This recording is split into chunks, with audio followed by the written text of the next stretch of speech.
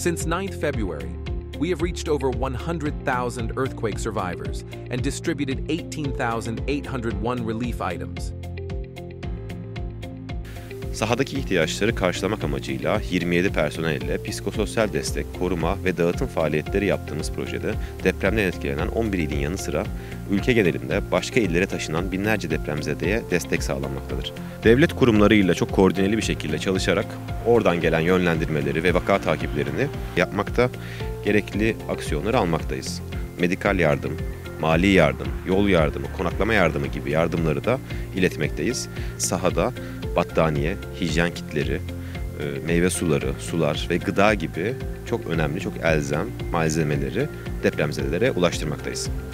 Within the scope of the project, 188,267 services have been provided in 65 containers by 109 staff members assigned by the Turkish Ministry of Health.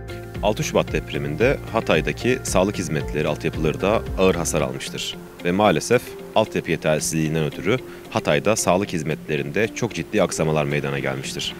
Altyapı konusunda destek sağlayabilmek amacıyla proje kapsamında Hatay İl Sağlık Müdürlüğü'ne 65 konteyner teslim edilmiştir. Mobil klinikler sahada sağlık hizmetlerinin verilebilmesi amacıyla tam donanımlı olarak hazırlanmıştır. Sağlık Bakanlığı en çok ihtiyaç duyulan 10 ilde mobil klinikleri, sağlığa erişim konusunda problemler yaşanan kırsal bölgelerde depremzedelere sağlık hizmetlerinin ulaştırılması için kullanmaktadır. Özellikle sağlık taramaları, gebelik kontrolleri, gebelik takipleri, aşılama hizmetleri gibi çok çok önemli görülen halk sağlığı problemleriyle ilgili bu araçlar hizmete sunulmuştur.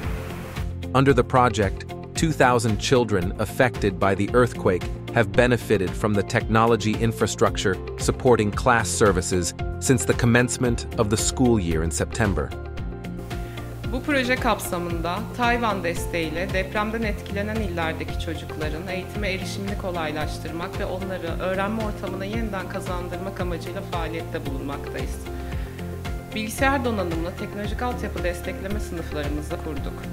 Ve yine mobil öğrenme laboratuvarlarımızı kurmaktayız.